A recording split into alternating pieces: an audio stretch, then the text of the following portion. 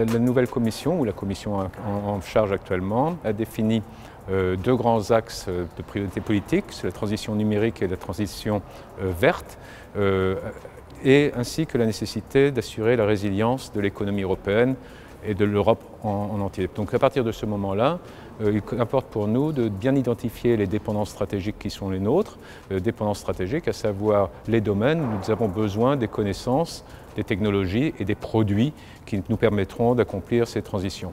À titre d'exemple, je peux vous donner l'exemple des batteries, de l'hydrogène, euh, de, des semi-conducteurs euh, ou de, domaine de l'industrie de, l'espace et de la défense. Donc euh, voilà ce que nous faisons. Nous identifions les, priorités stratégiques, les domaines dans lesquels il convient d'agir et nous développons les initiatives visant à intervenir. Je parlais de la nécessité de bien identifier les domaines qui sont stratégiques. Euh, donc c'est évidemment la première étape. Euh, tout n'est pas stratégique. Donc il est important de voir euh, là où il y a justification à agir. Le deuxième volet consiste effectivement à diversifier les sources d'approvisionnement si nous nous approvisionnons à l'extérieur.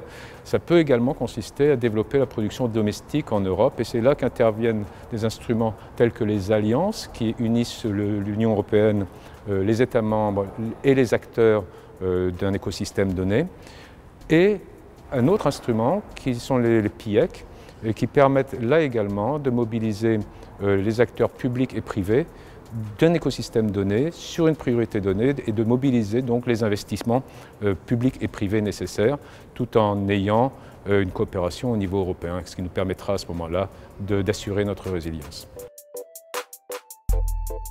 L'agression de la Russie en Ukraine est relativement récente, donc euh, nous n'avons peut-être pas encore tout évalué. Euh, la question de l'énergie euh, est connue.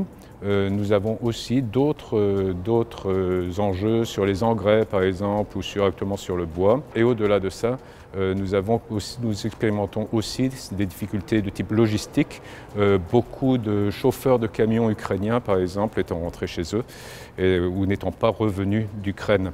Euh, donc ces difficultés euh, sont réelles. Certaines sont des difficultés que je dirais de court terme, qui nécessiteront une adaptation qui n'est pas trop compliquée. D'autres seront beaucoup plus structurelles.